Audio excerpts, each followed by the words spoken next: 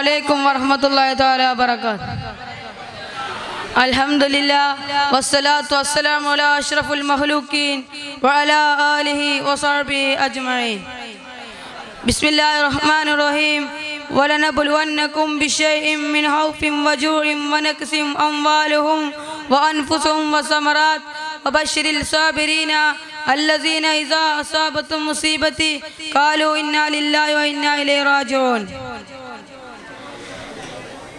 എന്റെ മുന്നിൽ ഒരുമിച്ച് കൂടിയ എന്റെ മുത്താലിയും സുഹൃത്തുക്കളെ എന്റെ പ്രിയപ്പെട്ട ഉസ്താദുമാരെ ഞാനിന്നിവിടെ പറയാൻ പോകുന്നത് കോവിഡ് പ്രളയം ഒരു ഓർമ്മപ്പെടുത്തൽ എന്ന വിഷയത്തെ പറ്റി സംസാരിക്കാനാണ്. മനുഷ്യൻ എത്രത്തോളം അഹങ്കരിക്കുന്നുവോ അതിനപ്പുറം അവൻ നിസ്സാരനാണെന്ന് തെളിയിച്ചു കൊണ്ടിരിക്കുന്ന ഒരു സമകാലിക സാഹചര്യത്തിലൂടെ കടന്നു പോകുമ്പോഴും ഇതൊന്നും മനസ്സിലാക്കാതെ പോകുന്ന മനുഷ്യ സമൂഹത്തോട് തന്നെയാണ് ലോകത്തിന്റെ സൃഷ്ടാവ് വിളിച്ചു പറഞ്ഞത്.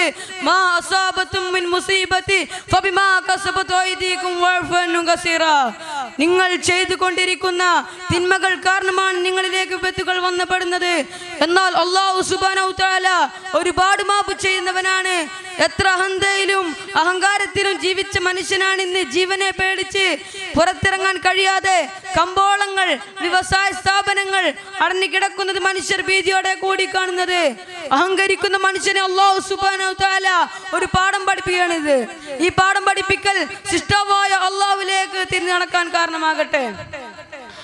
പ്രിയപ്പെട്ടവരെ എത്ര പെട്ടെന്നാണ് നമ്മുടെ ചുറ്റുപാടുകൾ മാറി മറിഞ്ഞത് കുതിച്ചു കൊണ്ടിരിക്കുന്ന ഒരു ട്രെയിനിന്റെ ചെയിൻ വലിച്ചു നിർത്തുന്നത് പോലെ ലോക രാജ്യങ്ങളിൽ വ്യവസായത്തിലും കച്ചവടത്തിലും വിപണിയിലും മുൻപന്തിലിരുന്ന രാജ്യങ്ങളാണ് പെട്ടെന്ന് പോയത്. എന്തൊക്കെ മറുപടികളായിരുന്നു നമ്മുടെ നാട്ടിൽ സംഭവിച്ചത്? പൗരത്വ ഭേദഗതിയെ പറ്റി ആരൊക്കെ ജീവിക്കണം ആരൊക്കെ അകത്താകണം ആരൊക്കെ പുറത്താകണം എന്തൊക്കെ വീപുകളായിരുന്നു പ്രത്യക്ഷത്തിലും കാണാൻ കഴിയാത്തൊരു സൂക്ഷ്മാണു. വിജയത്തിന്റെ സോനങ്ങൾ കീഴടക്കി ലോകത്തിന്റെ ഉത്താങ്കത്തിൽ വിരാജിച്ചിരുന്ന മനുഷ്യന്റെ അഹങ്കാരത്തിന് അമുതി വരുകയും ആ സൂക്ഷ്മാണുക്ക് മുന്നിൽ മാനവലോകം മുട്ടുമടക്കേണ്ട അവസ്ഥയും വന്നില്ലേ? പ്രിയപ്പെട്ടവരെ നാം ഒന്ന് നോക്കുകയാണെങ്കിൽ ഇസ്ലാം പറഞ്ഞു വെച്ച അതേ ഒരു ചിട്ടയിലേക്ക് തന്നെയാണ് ഈ സാഹചര്യം നമ്മളെ കൊണ്ടെത്തിച്ചിട്ടുള്ളത്.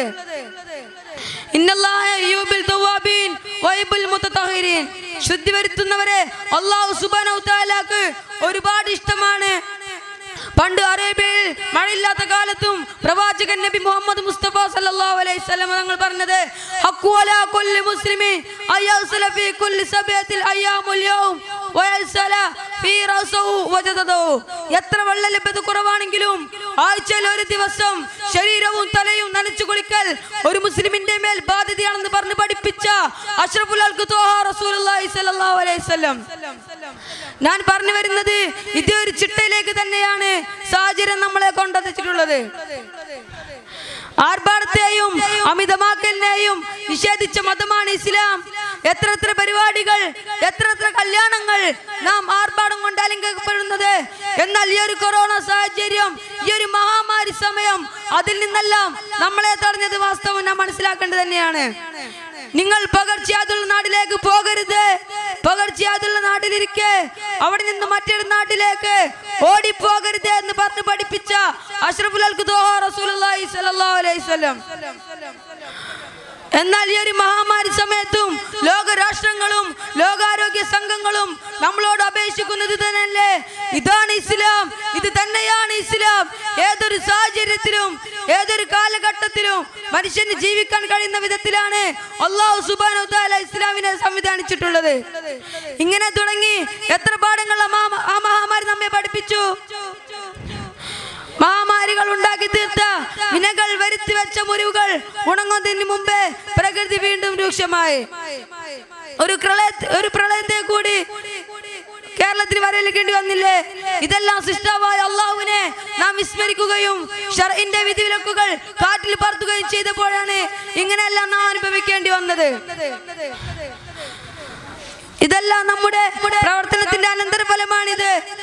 ഈ കൊറോണയും മഹാമാരികളും ശിഷ്ടാവായ അള്ളാവിലേക്ക് തിരിഞ്ഞു നടക്കാൻ കാരണമാകട്ടെ. എല്ലാം ഉൾക്കൊണ്ട് ജീവിക്കുന്ന സഞ്ചനങ്ങളിൽ നമ്മൾ ഉൾപ്പെടുത്തുമാറാകട്ടെ. ഇത്രയും പറഞ്ഞുകൊണ്ട് ഞാൻ എന്റെ വാക്കുകൾക്ക് വിരാമം കുറിക്കുന്നു. വാഴ്ദാനന്ദിരില്ല റബ്ബില്ലാലമീൻ അസ്സലാമലൈക്കും തആല വബറകാത്ത്